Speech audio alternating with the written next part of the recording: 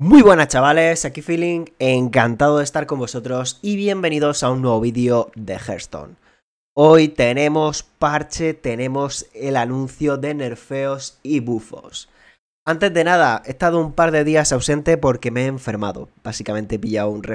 Creo que es un resfriado bastante potente, ya lo comenté en, en Twitter.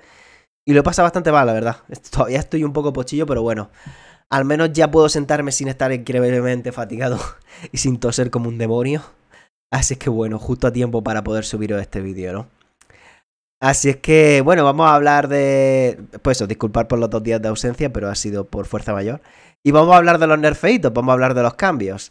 Y hay tres nerfeos solo, pero hay un montonazo de cartas bufadas. Vamos a primero mencionarlos y luego análisis poquito a poco, ¿vale? Como era lógico, Drexar. Drexar nerfeado. Ahora, en lugar de, de, sacar dos esbirros del mazo, invoca solo un esbirro del mazo. Tochísimo el nerfeo, me parece muy fuerte ese nerfeo. Más fuerte que el nerfeo que comentaba yo de que sacase esbirros de coste 2 o inferior. Multigolpe aumenta un cristal de mana, totalmente lógico. Y disparo de terror dracónico, o como se llame, disparo dracónico ese, eh, de muerte con honor, para cazador misión sobre todo, aumenta a 3 cristales de mana. Tochísimo eso. Y luego ya, todo buff. ¡Ah! Importantísimo. Que muchísima gente en plan de... Felink, no van a nerfear a Drexar porque Hubo gente que se dejó 25 pavos en comprarse Drexar. Es imposible no nerfear, porque ya sabes, Blizzard son muy malos y muy, muy avariciosos. Y, no van a devolver 25 euros. Es cierto, no van a devolver 25 euros. Lo que van a hacer es devolver la cantidad de oro que costó Drexar. Lo cual a mí me ha sorprendido muchísimo. Cualquier jugador que posea Drexar Diamante en el momento en el que el parche salga, recibirá automáticamente 3.000 de oro cuando se logue, como compensación. Tochísimo me parece, o sea, no me lo esperaba yo, no sabía qué harían, la verdad, si harían algo o no, pero al final han optado por hacer refound literal, además automático, sin rayarse lo más mínimo. ¡Wow! Entiendo que aún así para algunas personas que se hayan dejado los 25 pavos literal en lugar de los 3.000, que tienen que ser muy pocos realmente. A lo mejor eso no es suficiente, pero vamos, si te dejas 25 euros o 3.000 oro en convético, eh, tampoco muchos problemas de dinero deberías de tener, ¿no? Y bueno, los que se hayan dejado el oro, cero problema. De hecho, tenemos la diamante gratis ahora, ¿no? Ahora los problemas es gente decir, ¡ay! Yo no me conseguí Drexar diamante y me lo podía haber conseguido gratis. ¡Ah, Blizzard! Quejas siempre por un motivo o por otro. Pero tochísimo, o sea, yo confiaba muchísimo en que el juego no se podía quedar tóxico como está ahora mismo, con una carta tan rota como Drexar, solo porque había visto, por, porque había salido la versión de Amante, ¿no? Eso para mí, de mi forma de ver, era totalmente sin sentido, ¿vale? Así es que bueno, bufos. El colosal de Cazador de Demonios, lo vimos en la lista de en la tier list de mis colosales, que era el peor. Y lo que hacen son los tentáculos de Silag, empiezan con dos daños, en lugar de con un daño de base, con dos daños de base. Tochito, mucho mejor. Bueno, literalmente el doble de mejor, básicamente. Los tentáculos. Luego, el arpón de cazador, de cazador bestias, por así decirlo. Eh, este arma, cuando atacabas, dragabas. Y si era una bestia, reducía el coste de esa bestia en dos. Pues ahora reduces el coste de la bestia en tres cristales de mana. Coleccionista de mascotas. Coleccionista de mascotas. En lugar de ser una 3-3, ahora es una 4-4. Sable de Ashara. De 3-3 pasa a 4-3. El sable sumergido también a 4-3. Luego el Behemoth de Aguas Negras, el colosal de sacerdote, pasa a ser un 7 de maná en lugar de 8 de maná. Bastante tocho el bufo. El remolino de sacerdote pasa de 9 a 8 de maná, bastante interesante también. Y también una carta arma de unido en Ventormenta de sacerdote, que es paño de tejido de las sombras, creo que se llamaba, que era de 2 de maná, pasa a un cristal de maná. Interesante, ¿no? Esa bajada de cristales de maná. Y por último, la peluca de serpiente, o como se llama en español, no me acuerdo esta antes daba más uno más uno. Y si has casteado un Naga cuando tienes esta carta en la mano, te da una nueva copia de esta carta, ¿vale? Entonces ahora da más uno más dos. Luego, para Pícaro. Para Pícaro, Diente de Nefarian, carta del último miniset de Divididos en el Valle de Alterac. De 3 de mana pasa a 2 cristales de mana. Que probablemente muchos ni sabéis que existe esta carta.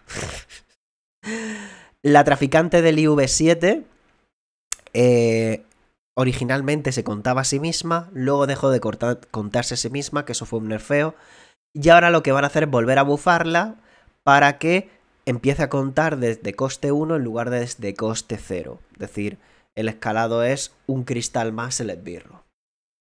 Nol Zarpa Salvaje vuelve a su origen. Eh, vuelve eh, eh, a 5 de mana 4-5. Tochísimo eso. Y Teskrin Gris a 7 de mana. Luego la pirata esta, que era 4 de mana 4-3, a 4-4.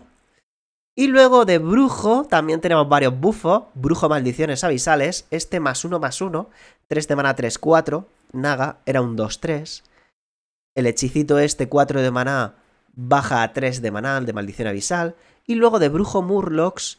Este Murloc que era 3 de mana 3-4, ahora es 2 de mana 2-3. Un mana menos, tochísimo y la versión sumergida también. 2 de mana, 2, 3.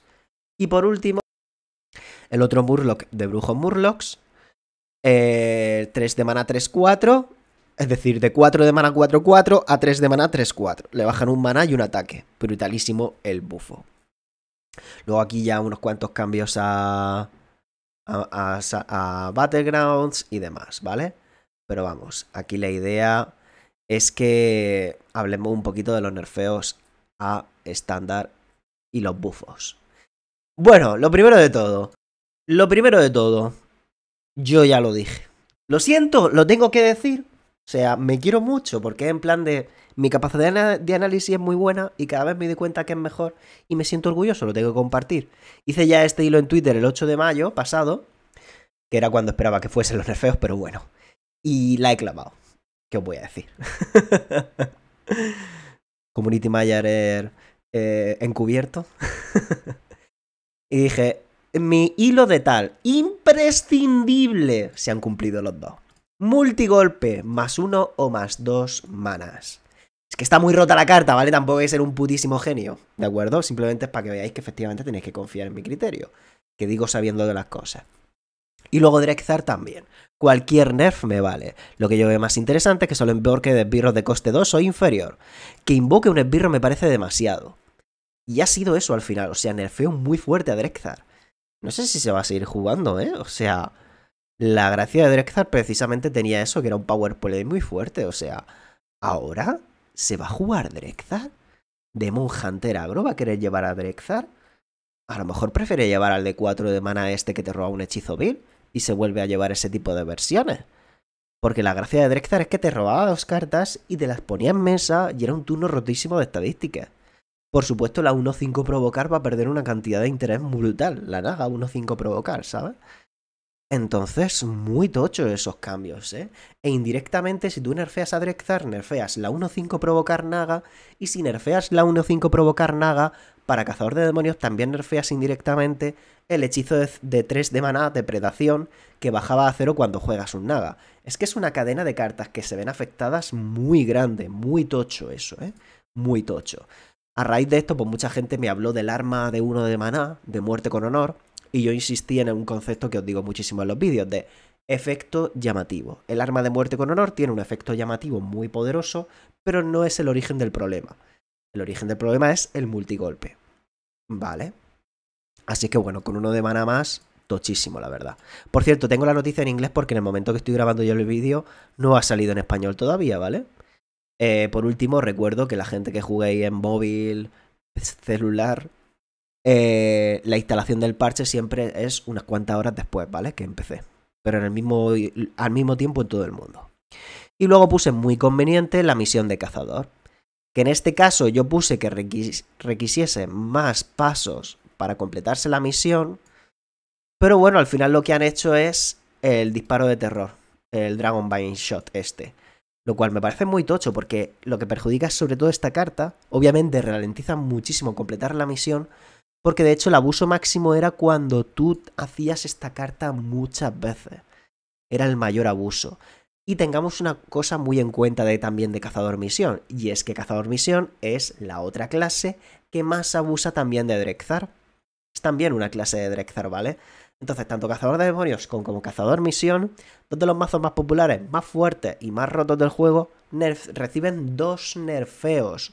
Muy tocho, muy importante eso, ¿vale? Muy, muy decisivo eso. Así que bastante tocho. Y para Guerrero Control eh, dije que era conveniente, pero no, en ese sentido no me han hecho caso, ok. Y luego, buff deseables, brujo maldiciones avisables. Las cartas de este arquetipo son muy malas por su coste de maná, correcto, han mejorado. Mira, lo de cazador no, bus, eh, no nada, ¿vale? Y eh, ya el tema de brujo. Estas dos las han mejorado. Y brujo Murlocs. Y brujo Murlocs. Probablemente el Murloc de 4 de maná que draga. Tiene muy malas estadísticas. Pues correcto. Solo que se han pasado ya incluso han mejorado más cosas. Han bufado muchísimas más cosas. Muy tocho, la verdad. ¿Y por qué estos buffos nerfeos? Para quien no lo vea claro. Pues voy a ir a una página web que he hablado ya millones de veces de ella, que sé que muchos quizás les da un poco de tirria, pero bueno, que es HS Replay, por supuestísimo. Hay gente que el que las estadísticas sean de todos conocidos le molesta eso. y básicamente, fijaos lo que hay por aquí, solo en la página principal. Porcentaje de victorias, win rate en estándar en general. Fijaos esta, esta lista. Cazador de demonios primero, cazador, eh, cazador de bestias tercero, muy por encima del resto, sin contar el paladín, ¿vale? Y fijaos los que están en rojo, rojo, rojo, brujo, sacerdote y pícaro. Totalmente lógico, ¿no? Al final. Eh, las clases más fuertes que mejor resultados dan la nerfean y las clases que están más débiles que de peor resultados tenían las bufan. Brujo Maldición Avisales era totalmente implanteable. Era, aparte de que son cartas muy poco eficientes por sus cristales de maná, lo cual estaba muy injustificado en general, es que tampoco es una condición de victoria tan buena. a ver, me estoy yendo por las ramas. Aquí ya veis de primera lo que hay, pero vamos a ir carta por carta mejor, ¿vale? Bueno, eso en cuanto a nerfeos, la verdad, bien también un poco minimalista. Pero tampoco me parece mal, o sea, el objetivo tampoco es matar la clase. Yo entiendo que haya mucha gente que guarde mucho odio resentimiento a lo que ha sido muy roto durante mucho tiempo. Pero creedme que con una o dos cartas se notan muchísimas las cosas. Sobre todo si has bufado lo otro. Me preocupa luego, luego más que lo otro sea posible jugado. Más que cualquier otra cosa. Para mí lo deseable es eso, básicamente, que lo otro sea jugado. Entonces eso, menos Drexar, menos Demon Hunter en general menos cazador misión en general. Yo creo que eso cual, casi cualquier jugador se va a ver muy contento y satisfecho con eso, básicamente. Por supuesto, las otras dos cartas, estas dos poco comunes, las podéis desencantar por su coste de creación en cuanto salga el parche, ¿vale? Luego, Shilag. Eh, Demon Hunter con este tipo de cartas, Demon Hunter en plan Big y cosas así. Nada de juego. Así es que interesante va a ser si esto ve algo de juego. Curioso. No lo sé, la verdad. Habría que ver de primeras cuál es el impacto directo de esto, pero vamos.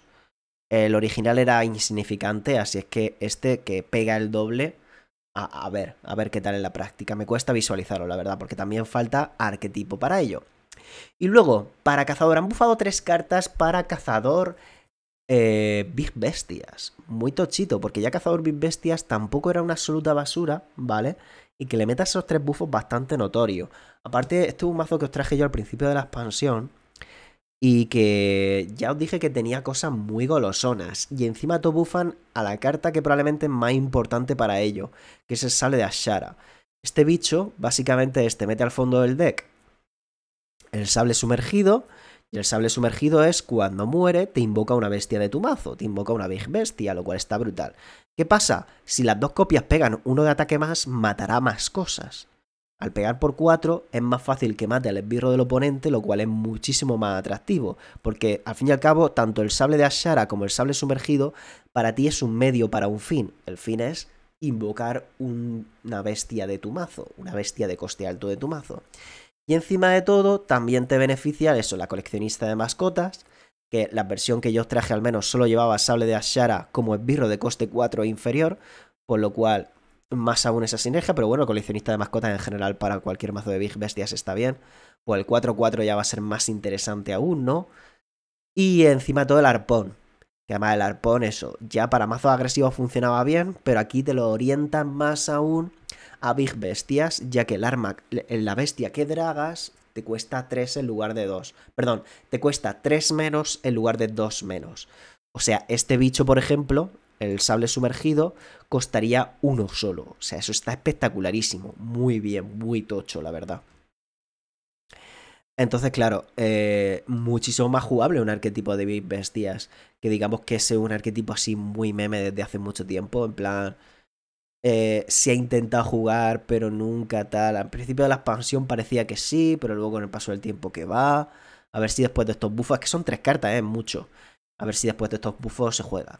Y aparte esto también tiene una especial sinergia con el, con el embajador Faelin, ya que como muchos colosales son bestias, pues más fácil jugar embajador Faelin y como los colos eh, y que uno de esos colosales bestias pues se descuente por tres, tochísimo, la verdad.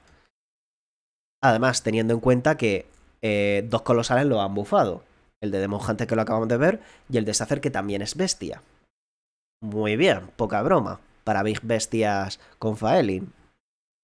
Luego el propio Behemoth de, para sacerdote, que ya lo habíamos visto que también estaba un poco en el pozo, aunque sacerdote, bueno, para el tema de meta de torneo, por así decirlo, High Legend, no parece tan pozo porque está, alguno puede decir, bueno, pero está el sacer brujo, ¿no? Eh, perdón, el sacer chanchos, el sacer jabalí de Elwyn, ¿no?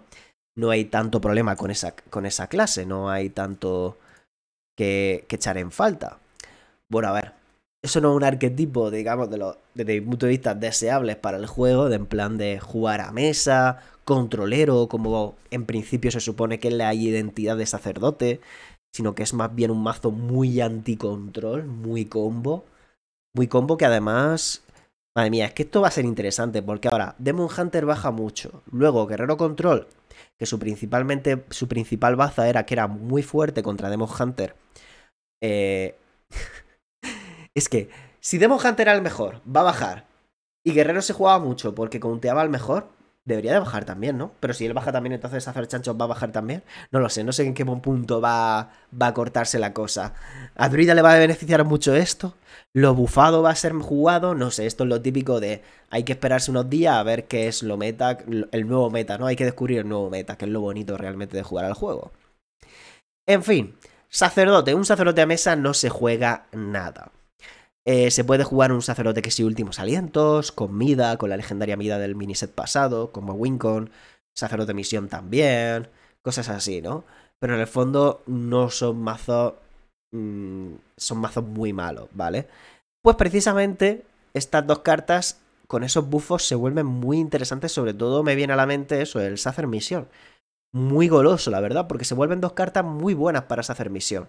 Para empezar, Sacerdote Misión ahora mismo de coste 7 estaba un poco huérfano. Perdió el espejo de almas.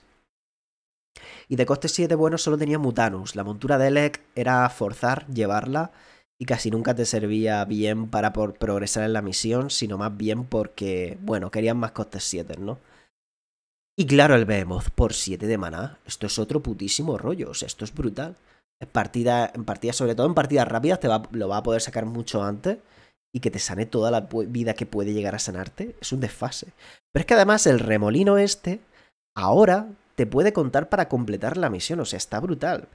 Eh, ya que si en la última fase de la misión, pumba, remolino, o como se quiera llamar en español, limpias toda la mesa y completas tu misión. Es brutal, o sea, para hacer misión, muy bueno esto. Muy, muy, muy bueno esto. Y en general para otros arquetipos de sacerdote, no lo sé. No sé si se querría jugar ante otro arquetipo que sacerdote, la verdad. Pero bueno. Y luego tenemos el arma esta de sacerdotes sombras.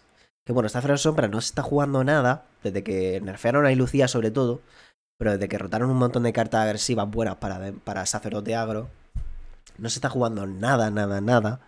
Pues un arma por uno de mana se vuelve muy interesante para un sacerdote sombra. Aunque sea un sacer sombras controlero, ¿vale? Y luego estos hacer nagas, por así decirlo, pues nada, es que están mucho mejor el de los jabalíes, ¿no? El de los chanchitos. Y esto que te dé el más uno más dos a la mesa en lugar de más uno más uno. No sé. Ahora mismo, con lo que hay ahora mismo en Sacer, sé que se decía mucho que cómo es posible que el sacerdote con las cartas de Miracle no se juegue, ¿no? Recordemos que en el nuevo set esencial han metido el elemental radiante y Lira fragmento solar, cartas que eran del viaje de un Goro, que fueron muy potentes para sacerdote, arquetipo Miracle en su momento, y que bueno, ahora que volvían a estándar, se prometían los Sacer Players muy felices con ellas. Pues nada más lejos de la realidad, no se juegan absolutamente nada, lo único jugable de sacerdote es chanchitos.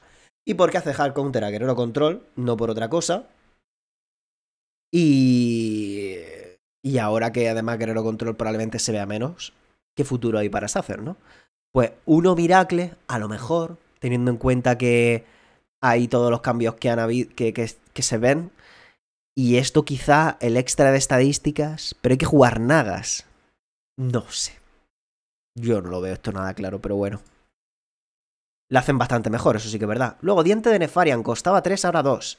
Que esto es 3 de daño y muerte con honorable descubres un hechizo de otra clase. Han mejorado 3 cartas de pícaro ladrón. Mitiquísimo meme... No, 4, 4 cartas de pícaro ladrón. Mitiquísimo meme de pícaro ladrón lo que puede pasar con esto, gente, es que Pícaro Tempo Ladrón vuelva a ser meta. ¿Os acordáis, no? De la época en la que Pícaro Maestra de la Mascarada era el mejor mazo del meta. Que esto costaba esto. Y estaba la Maestra de la Mascarada en todos los decks. Y era el mazo más spameado por todas partes. Pues perfectamente vuelve a ser jugable solo por esto. Vuelve a ser súper fuerte. Teniendo en cuenta que Demon Hunter baja muchísimo y tal. Puede que vuelva a ser muy fuerte solo por esto y tal. Y por esta carta, obviamente esta carta le viene muy bien, porque tres daños puede ir a la cabeza a un esbirro y te da una carta de otra clase que te va a descontrar el Null, te activa el panda y cosas así, ¿no? De hecho, esto te entra en curva para robar una carta de otra clase y luego hacer el pandita por 3 de maná, si no lo hace antes por la maestra de la mascarada. Así que bueno, me da un poco de miedo que vuelva la tiranía esa del pícaro ladrón, tempo, porque pícaro ladrón codicioso le han pegado dos refuerzos bastante tochos. Esta es un 4-4 ahora. Muy golosón. Y tres screen, gris a 7 de mana. Pero no sé. Y recordemos que todavía está el alijo de contrabandista por 5 de mana. Esa carta. Así es que esta es muchísimo mejor porque te repite todo por 7 y te deja un 6-6. Pero bueno, otro arquetipo troll, digamos, bastante off-meta, al igual que Cazador de Demonios Bestias. Perdón, joder, qué, pestazo. Big Bestias Cazador.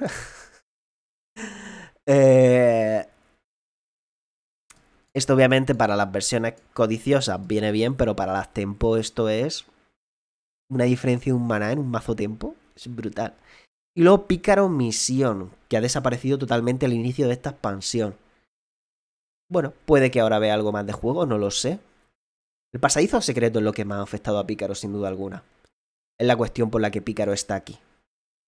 Porque pasadizo secreto era muy buena carta, y todo ese robo, ese abuso de cartas, ya no lo tiene Pícaro. No es por otra cosa. Y en cuanto a Brujo, Brujo Maldiciones Avisales, tienen varios problemas las maldiciones, las cartas estas. Primero, son muy malas por su coste de maná. Lo han compensado, ahora 3 de maná 3 4, ya jugarlo a tiempo no es pestazo.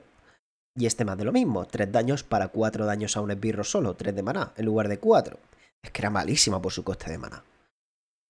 Así que bueno, a ver si hay un poquito más de juego con este mazo, con este mazo. De todas maneras, yo me acuerdo que uno de los principales problemas que había con Brujo Maldiciones Avisales era precisamente que los enfrentamientos en los que las maldiciones avisales eran relevantes, enfrentamientos lentos, el rival solía acumular muchas cartas en la mano y no podían meterle maldiciones suficientes.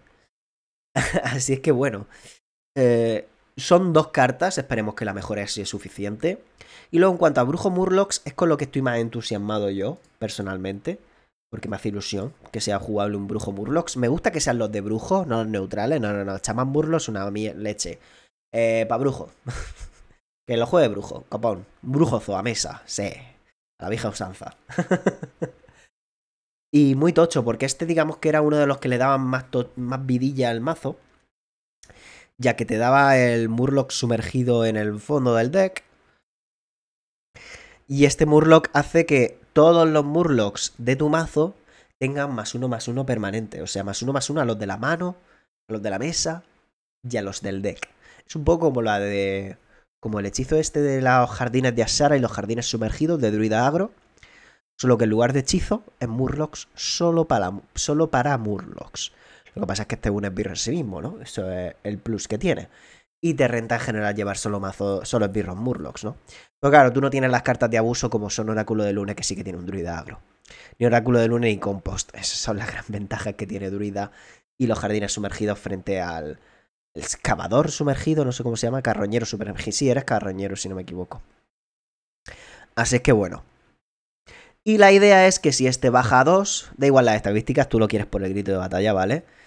Y sigue cumpliendo por estadísticas. Además, el que baje a 2 de mana, muy tocho, porque ahora de mana inicial te lo quedas siempre. Antes era 3 de mana, era un poco cuestionable quedárselo de mana inicial. Bueno, para empezar, que las estadísticas eran malísimas para Brujo Murlocs, ¿vale? O sea, era un pestazo de mazo impresionante, no se veía nada. Y ahora, pues eso, esperemos que vea más juego. Y esto al costar 2 ya sí te lo quedas siempre de mano inicial, claro, por supuesto. Es un potencial muy rápido de poder bufar todo el deck muy pronto.